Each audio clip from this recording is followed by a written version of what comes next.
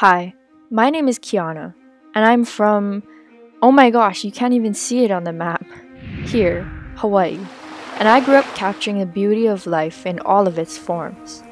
Moving to Oregon and going to Linfield has been a big adjustment. It's a lot colder, but still just as beautiful.